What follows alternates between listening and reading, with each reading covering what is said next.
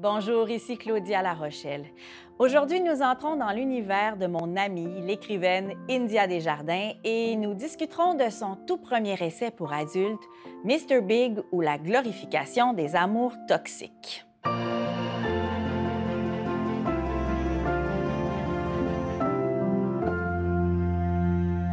India Desjardins est d'abord connue comme la créatrice de l'héroïne jeunesse culte Aurélie Laflamme. En 2021, elle faisait paraître son premier essai pour adultes, Mr. Big ou la glorification des amours toxiques, dans lequel, avec aplomb et intelligence, elle décrypte, entre autres, l'influence que peuvent avoir la fiction et leurs personnages dans nos relations amoureuses, voire même dans notre perspective du monde. Le principal exemple à la source de son analyse, la série américaine Sex and the City et les tribulations sentimentales purposantes entre Carrie et le fameux Big.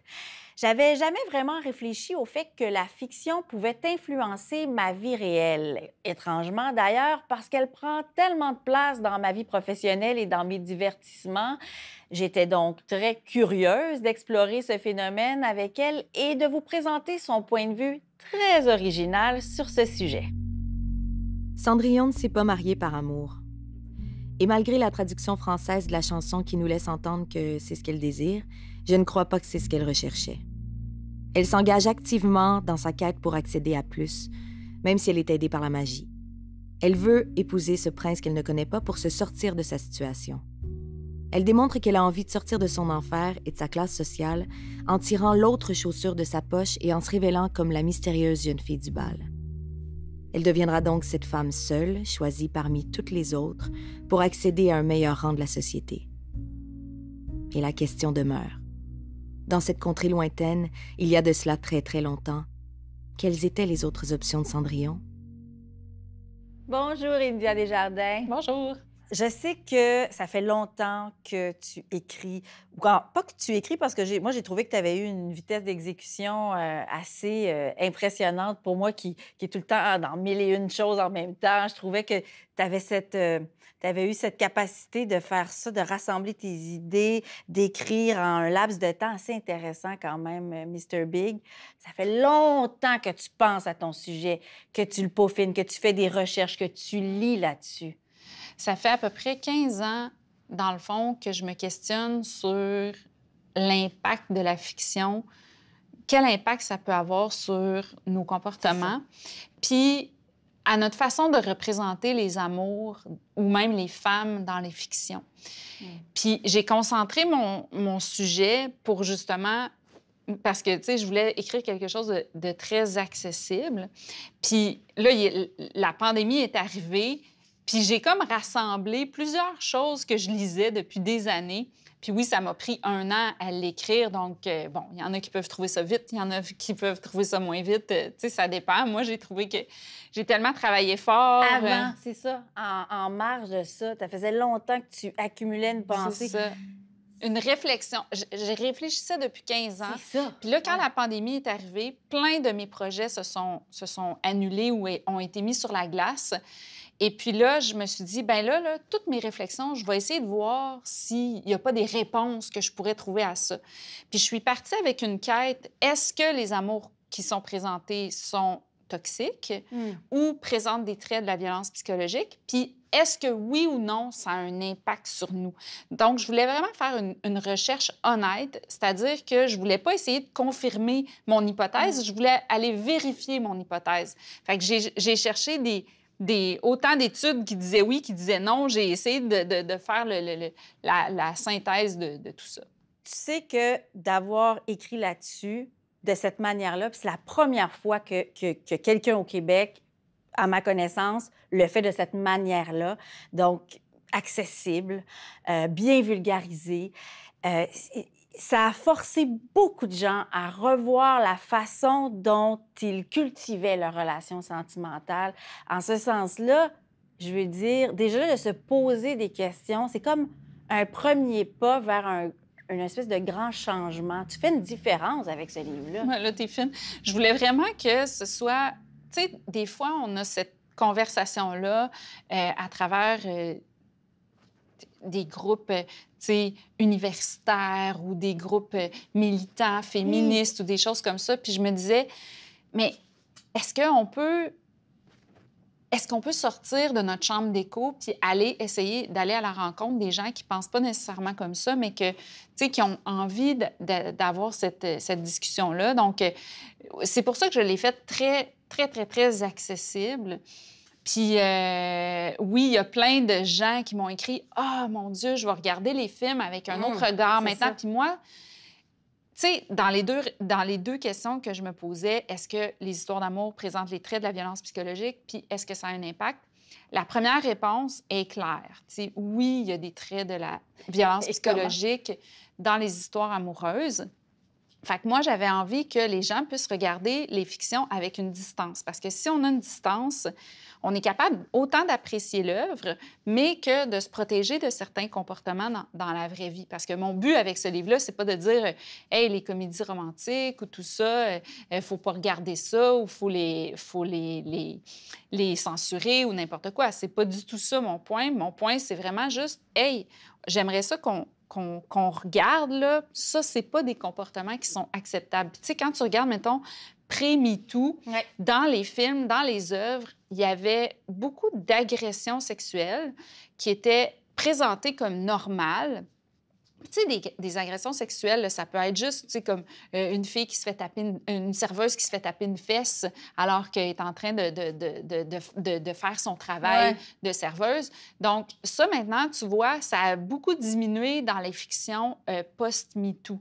Mais moi, je, souhaiterais que la violence psychologique, ça diminue aussi, mais c'est juste que pour que ça diminue, il va falloir qu'on en prenne conscience. Hommes et femmes, Après ça, est-ce que ça a un impact? Ça, la réponse est plus nuancée que j'ai trouvée, mais j'ai quand même un doute assez raisonnable pour vouloir que ça change. J'ai cru remarquer, et c'est une impression pour laquelle je n'ai pas de preuves, qu'on est souvent plus exigeant envers les créatrices. Elles doivent être tout ce que leurs homologues masculins ne sont pas. Elles ont la responsabilité de corriger les défauts. Les personnages féminins doivent cocher plusieurs cases. Elles doivent être des modèles. Elles ne doivent jamais être stupides ni superficielles et surtout pas girly. Je n'ai jamais vu un personnage masculin se faire reprocher d'être trop boysy, trop superficiel, trop stupide, trop intéressé par les relations amoureuses. Et pourtant? On poursuit euh, India Desjardins Merci d'être ici avec moi parce que, bon, on en a parlé déjà, on est amis, hein, donc on se parle beaucoup de nos projets communs, de, la création, de, ce sur quoi on travaille. Puis je sais que tu m'avais parlé beaucoup de, de Mr. Big avant. Là. On avait eu des, discussions sur certains points, tout ça. Puis je partage tellement tes, tes, avis puis tes réflexions sur, sur la, la, glorification des amours toxiques dans, dans la fiction notamment. Puis je me disais, à quel point puis tu as dû le voir, tu as dû le constater à travers tes recherches, à quel point justement le fait que ces séries-là montrent euh, des, comportements toxiques, de quelle manière insidieuse ça vient, ça vient jouer dans notre tête? Il n'y a pas nécessairement de, de, réponse à ça, mais ce que j'ai trouvé comme réponse ou comme semblant de réponse, le consensus à, ce sujet-là, c'est que si on est exposé à un acte violent, ouais. Euh, si on n'a pas de prédisposition à la violence, on ne sera pas nécessairement inspiré à commettre des, des gestes violents. Puis la violence euh, physique, c'est très clair. Quand on la voit, on est capable, quand on en voit, d'en prendre distance. Mm. Par contre, être exposé à plusieurs actes violents peut nous désensibiliser à la violence. Donc, s'il y a une violence qui est méconnue, comme la violence psychologique, est-ce que ça se pourrait pas qu'on soit désensibilisé à une violence qu'on connaît même pas. En fin de semaine, on parlait de l'accessibilité. en fin de semaine, il y avait une fille qui m'écrivait et elle disait Je suis d'accord, mais ça me fait mal que tu aies parlé de Sweet Home Alabama parce que moi, le, le, gars qui est méchant avec elle tout le long, puis c'est ça que je dis, elle dit Moi, je le trouvais fin, puis tout ça. Puis j'étais comme Arrête pas. Puis elle était là, elle aimait le film. Fait que n'importe quoi que je disais, elle, elle connaissait pas assez ça, elle avait pas d'attachement dans son cœur. Mais là, elle avait un attachement, fait que ça lui faisait mal. Puis, tu sais, quand on essaye de, d'écorcher un petit peu, de, d'analyser des œuvres avec, tu sais, des nouvelles lunettes, parce que c'est ça que je propose, des nouvelles ben lunettes, ça nous fait mal. Fait que là, j'ai dit, permets-toi une fois de le regarder sous l'angle de la violence psychologique. Puis après ça, reviens à ton ancien regard puis à ton amour sur ce film-là, mais ça va juste te permettre une distance. Puis on a le droit d'aimer ces films-là. Tu sais, le but, mon but, là, c'est vraiment pas de dire il faut qu'on arrête d'aimer ben ces films-là. On les aime. Mais c'est comme quelqu'un qui me disait récemment Carrie Bradshaw, c'est donc l'héroïne dans Sex in the City, mais elle se comporte comme une garce. Il y a une fille qui m'a dit ça.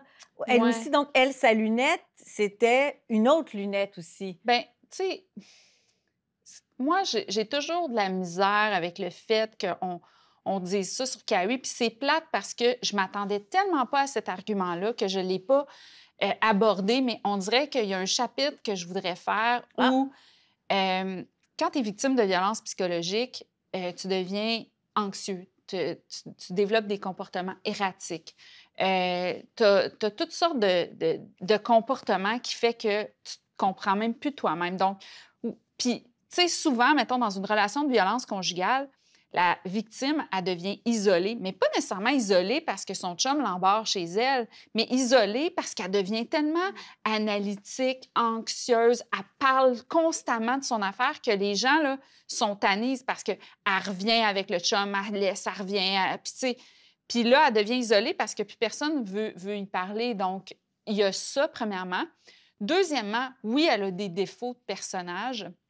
Mais on ne peut pas faire autrement que de se dire que ce personnage-là, elle avait quand même comme personnage féminin une agentivité, puis que c'était rare à cette époque-là des personnages féminins avec des qualités, des failles, tout ça. Donc, euh, tu sais, une complexité, des nuances, des nuances une sexualité. Euh, donc, pour moi, c'est plus difficile à entendre, mais c'est vrai. C'est un, vrai argument. Parce que je, me rappelle juste, entre autres, à un moment donné, elle oblige son amie Charlotte à lui prêter de l'argent, puis elle la, culpabilise quand, Charlotte dit non. Ça, pour moi, c'est complètement euh, un mauvais comportement de la part de, de, de Carrie. Ça aussi, c'est un peu de la petite, de petite violence. C'est de la violence. Passive-agressive Oui, c'est de la violence psychologique aussi. Donc, oui, ce personnage-là, elle a des défauts, puis je veux, je veux surtout pas la présenter seulement comme une victime.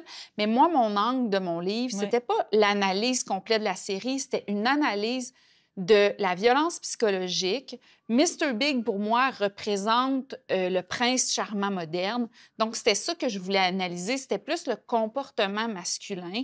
Mais là, de là à, à analyser complètement la série. Non, puis c'est ça, on aurait pu analyser chaque personnage, chaque personnage. son agentivité et compagnie, où on s'en va avec ça. Tu sais, l'important, c'est que Sex and the City, là, c'est, moi, là, c'est une de mes œuvres préférées parce que ça a mis des, quatre femmes fortes en scène à une époque où il n'y en avait pas. Ça a changé les codes de, de la réalisation de comédie parce qu'avant Sex and the City, euh, les comédies étaient filmées euh, aux États-Unis sous forme de sitcom. Là, on a, on a permis à une comédie d'être cinématographique.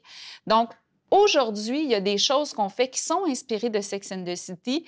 Euh, sans même le savoir. Donc, ça a un impact culturel majeur. Mm. Puis des fois, il y a des gens qui disent euh, je faisais une entrevue avec un Français qui disait Mais Sex and the City, c'est bas de gamme. Puis là, j'étais là, mais non, au contraire, ça a, ça a amené tellement de choses dans la, dans la culture populaire. Puis moi, je trouve ça. Tu sais, quand on aime les comédies romantiques en tant que fille, on se fait souvent stigmatiser, traiter de quétaine, tout ça. Mon but, c'est vraiment pas d'en rajouter une couche. Mon but, c'est qu'on apprenne à se défendre, hmm. nous, des œuvres qui nous, qui nous sont présentées comme romantiques et, qu'on apprenne à avoir des, mauvais comportements, autant là-dedans que dans la vraie vie. Puis j'aimerais ça que ça change, j'aimerais ça que les codes changent. Puis j'ai plein d'espoir à ce niveau-là. Moi aussi. Puis ça, c'est vraiment, je trouve, un, premier pas dans la bonne direction. India, on doit se quitter. Il y aurait eu matière à faire une heure, une heure trente. Et puis ce, vilain personnage euh, qui nous méprise, euh, dont, euh, auquel tu fais référence, je ne sais pas d'où il vient, mais qu'il sache que les séries, les comédies dramatiques, ce n'est pas n'importe quoi. Au contraire, il y a beaucoup à retirer de ça aussi. Merci. Merci, mon ami. Merci. Mr. Big ou la glorification des amours toxiques est un essai de India Desjardins paru aux éditions Québec-Amérique. Animation et recherche, Claudia Larochelle. Réalisation, Michel Pelletier. Production exécutive, Nadine Dufour. Merci à nos partenaires, la Grande Bibliothèque et les studios Audio Z. Claudia Lapage est une émission de Savoir Média disponible en ligne, à la télé et en balado-diffusion.